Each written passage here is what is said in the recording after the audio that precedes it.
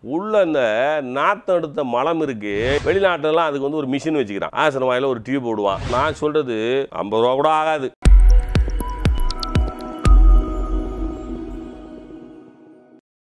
ஒரு கார் வாங்கினா அது எத்தனை தடவை தண்ணி இல்லாத காலத்தில் வந்து தொடச்சின்னு உட்காந்து கிடக்குறோம். தண்ணியை போட்டு. ம்? எத்தனை முறை குளிக்கிறோம்.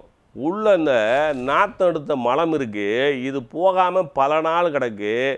அதை வந்து உள்ளே போய் அந்த வந்து என்ன சொல்லுவாங்க வாஷ் பண்ணணும்னு சொல்லுவாங்கள்ல கார் வாஷ் மாதிரி. அது மாதிரி ஏதாவது செய்யணுமா இல்லையா? இது பேதி ஆகணும் எல்லாருக்கும். வயிறு சுத்தமாகணும். பேதி ஆகிறதுக்கு ஒரு முறை சொல்லித்தரேன். சுகபேதின்னு பேர் அது. பேர் என்னது? சுகபேதி. வெளிநாட்டிலலாம் அதுக்கு வந்து ஒரு மிஷின் வச்சுக்கிறான். இப்படி போய் அப்படி படுத்துக்குவான். ஆசன வாயில் ஒரு டியூப் போடுவான். அதுக்கு என்னமோ ஒரு என்னமோ வந்து கொலான் தெரப்பி அப்படின்னு ஒரு தெரப்பி இருக்குது. பன்னெண்டாயிரம் பெங்களூரில் பண்ணுறாங்க. ம்? இங்கே கூட மெட்ராஸில் கூட இருக்குது சென்னையில் கூட இருக்குது. நாம் நான் சொல்கிறது ஒரு மூணு தேக்கரண்டி உப்பு மூணு எலுமிச்சம்பழம் ஒரு மூணு லிட்டர் தண்ணியில் முடிஞ்சு போயிடும். இது எல்லாம் சேர்த்தாவே ஒரு ஐம்பது ரூபா தான் ஆகும்.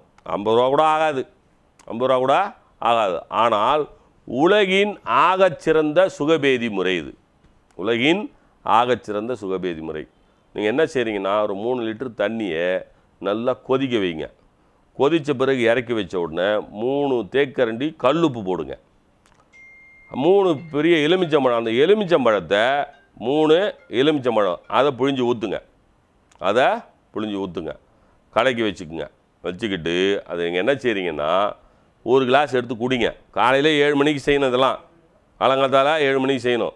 ஒரு கிளாஸ் எடுத்து குடிங்க. ஒரு இருபது நிமிஷத்தில் பேதி ஆகும். பேதி ஆனோடனே திரும்ப ஒரு கிளாஸ் குடிங்க. திரும்பவும் பேதி ஆகும். இந்த மூணு லிட்டர் தண்ணி குடிக்கிறதுக்கு முன்னாடி ஏழு ஏழு முறை பேதி ஆயிரும்.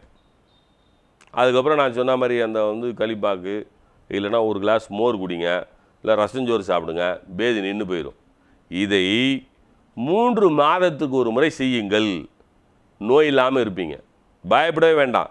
உடம்பு வந்து சோர்வே அடையாது. உடம்பே சோர்வே அடையாது. ஏன் சோர்வு அடையாதுன்னா நீர்ச்சத்தை காப்பாற்றக்கூடிய ஆற்றல் எலுமிச்சம்பழத்துக்கும் உப்பும் கலரும் போ- கலந்துக்கும் போது உப்பு எலுமிச்சம்பழம் கலந்துறீங்களே தண்ணியில்? அதனால் அந்த நீர்ச்சத்து வீணாகாமல் உடலில் தங்கக்கூடிய ஆற்றலை இந்த உப்பும் எலுமிச்சம்பழமும் கலந்த தண்ணீர் நமக்கு தருவதால் இதற்கு பெயரை சுகபேதின்னு வச்சாங்க சித்தர்கள்.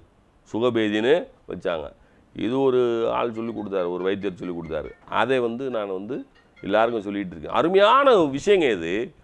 புதைந்து கிடக்கக்கூடிய தமிழர்களுடைய அறிவியலில் இதெல்லாம் மிகப்பெரிய அறிவியல். இதெல்லாம் பயன்படுத்துங்க. அச்சா?